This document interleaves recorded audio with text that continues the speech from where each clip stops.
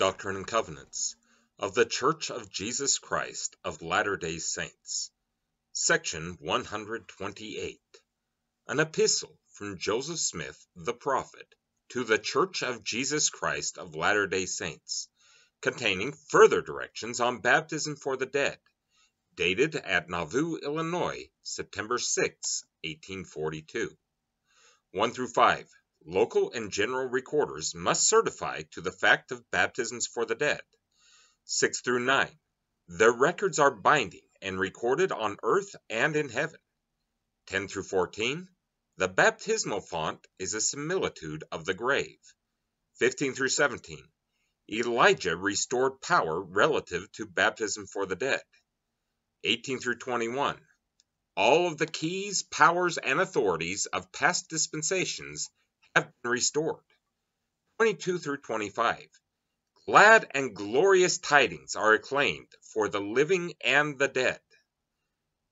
As I stated to you in my letter before I left my place, that I would write to you from time to time and give you information in relation to many subjects, I now resume the subject of the baptism for the dead, as that subject seems to occupy my mind and press itself upon my feelings the strongest since I have been pursued by my enemies.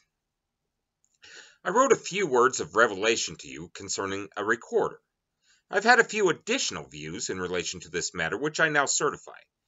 That is, it was declared in my former letter that there should be a recorder who should be eyewitness and also to hear with his ears, that he might make a record of a truth for the Lord. Now, in relation to this matter, it would be very difficult for one recorder to be present at all times and to do all the business.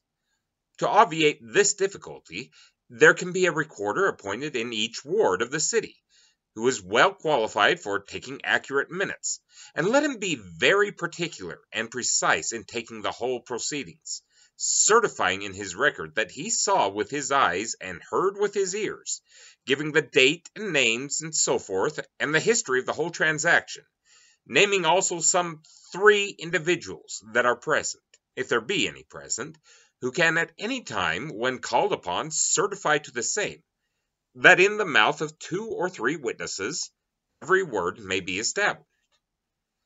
Then let there be a general recorder, to whom those these other records can be handed, being attended with certificates over their own signatures, certifying that the record they have made is true.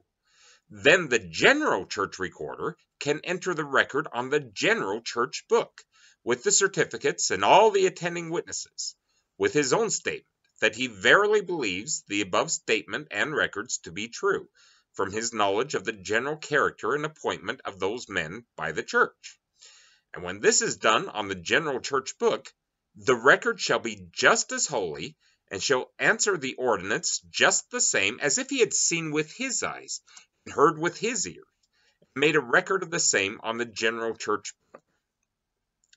You may think this order of things to be very particular, but let me tell you that it is only to answer the will of God, by conforming to the ordinance and preparation that the Lord ordained and prepared before the foundation of the world for the salvation of the dead who should die without a knowledge of the gospel. And further, I want you to remember that John the Revelator was contemplating this very subject in relation to the dead when he declared, as you will find recorded in Revelation chapter 20, verse 12, I saw the dead, small and great, stand before God, and the books were opened, and another book was opened, which is the book of life and the dead were judged out of those things which were written in the books, according to their works. You will discover in this quotation that the books were opened, and another book was opened, which was the book of life, but the dead were judged out of those things which were written in the books, according to their works. Consequently, the books spoken of must be the books which contain the record of their works, and refer to the records which are kept on the earth. And the book which was the book of life is the record which is kept in heaven.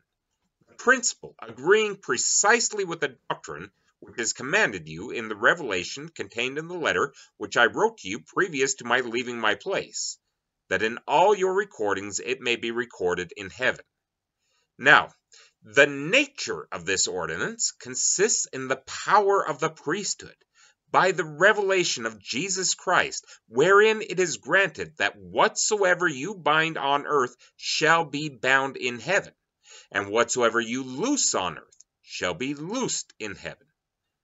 Or, in other words, taking a different view of the translation, whatever you record on earth shall be recorded in heaven, and whatsoever you do not record on earth shall not be recorded in heaven, for out of the books shall your dead be judged according to their own works, whether they themselves have attended to the ordinances in their own propria persona, or by the means of their own agents, according to the ordinance which God has prepared for their salvation from before the foundation of the world, according to the records which they have kept concerning their dead.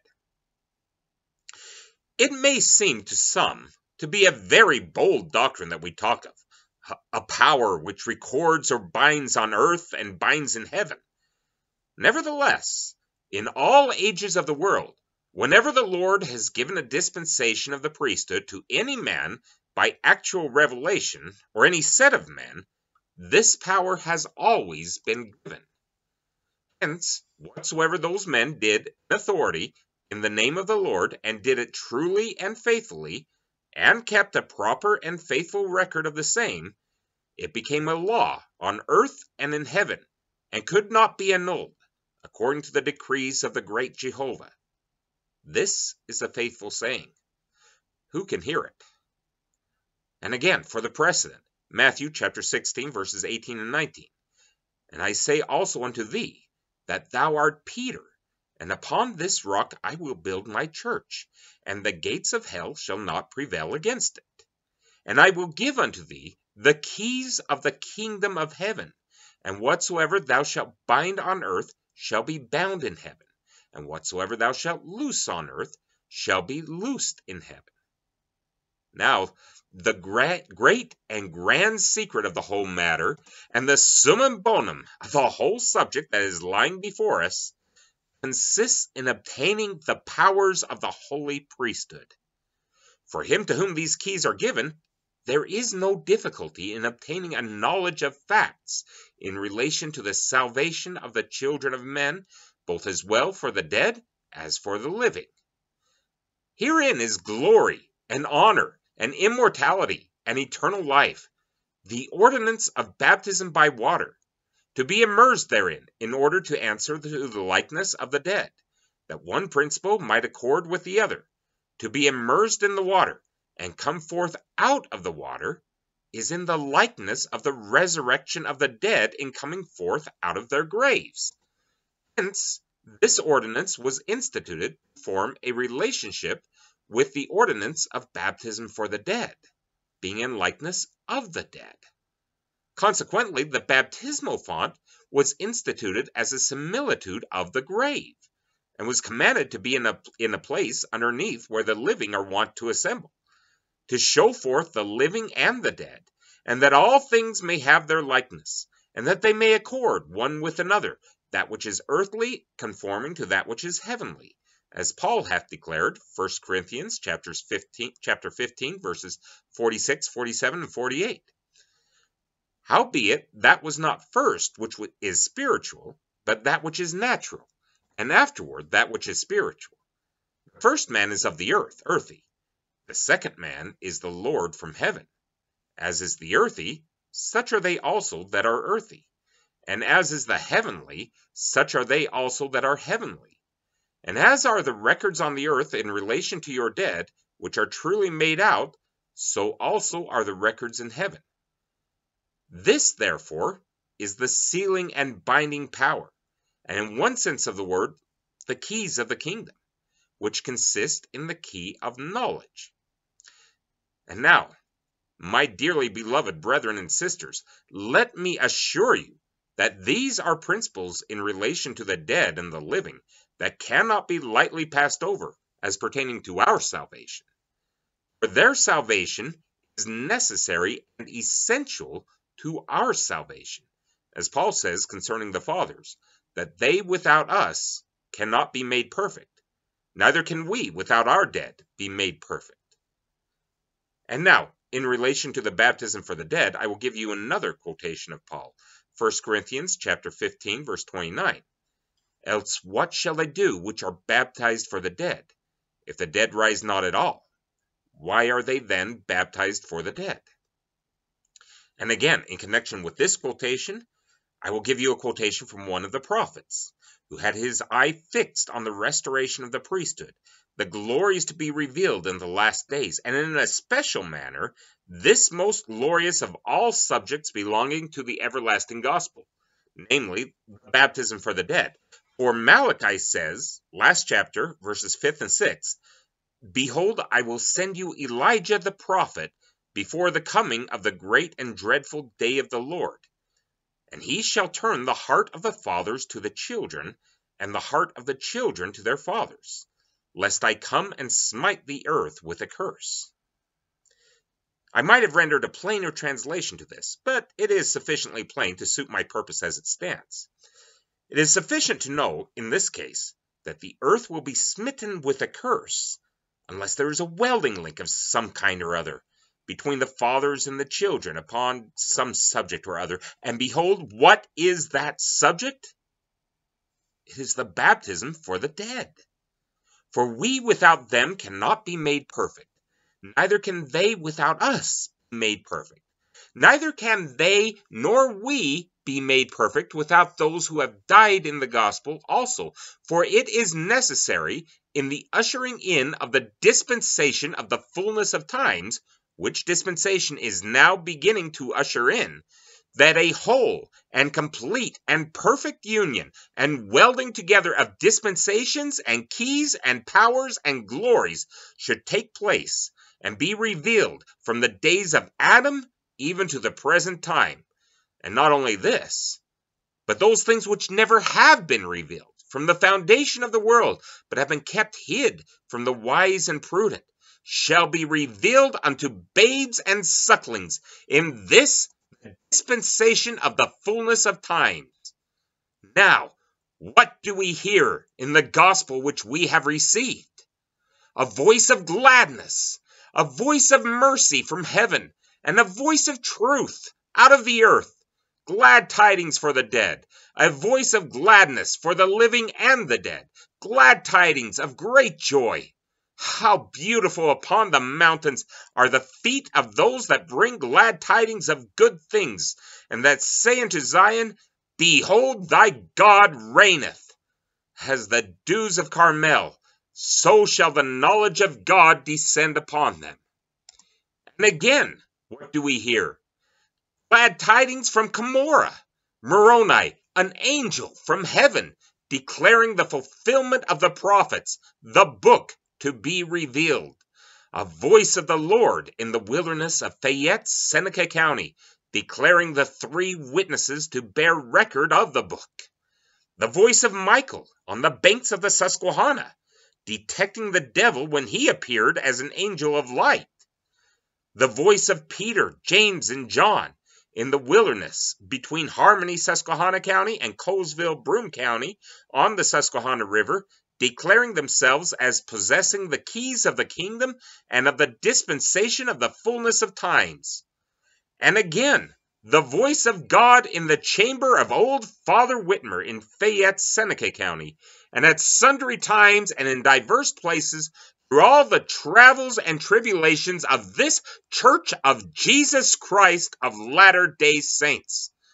And the voice of Michael, the archangel, the voice of Gabriel, and of Raphael, and of diverse angels from Michael or Adam down to the present time, all declaring their dispensation, their rights, their keys, their honors, their majesty and glory, and the power of their priesthood, giving line upon line precept upon precept, here a little and there a little, giving us consolation by holding forth that which is to come, confirming our hope. Brethren, shall we not go on in so great a cause? Go forward and not backward. Courage, brethren, and on, on to the victory. Let your hearts rejoice. And be exceedingly glad. Let the earth break forth into singing. Let the dead speak forth anthems of eternal praise to the King Immanuel, who hath ordained before the world was that which would enable us to redeem them out of their prison, for the prisoners shall go free. Let the mountains shout for joy, and all ye valleys cry aloud, and all ye seas and dry lands tell the wonders of your eternal King. And ye rivers and brooks and rills flow down with gladness. Let the woods and all the trees of the field praise the Lord, and ye solid rocks weep for joy. And let the sun, moon, and the morning stars sing together, and let all the sons of God shout for joy, and let the eternal creations declare his name forever and ever. And again I say, how glorious is the voice we hear from heaven, proclaiming in our ears glory and salvation and honor and immortality and eternal life, kingdoms, principalities, and powers. Behold, the great day of the Lord is at hand, and who can abide the day of his coming?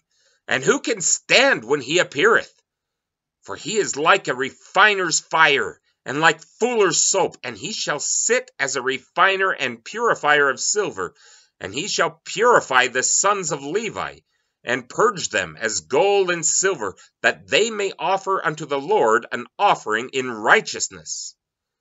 Let us therefore, as a church and a people, and as latter day saints, offer unto the Lord an offering in righteousness, and let us present in his holy temple, when it is finished, a book containing the records of our dead, which shall be worthy of all acceptation. Brethren, I have many things to say to you on the subject, but shall now close for the present and continue the subject another time. I am, as ever, your humble servant and never deviating friend, Joseph Smith.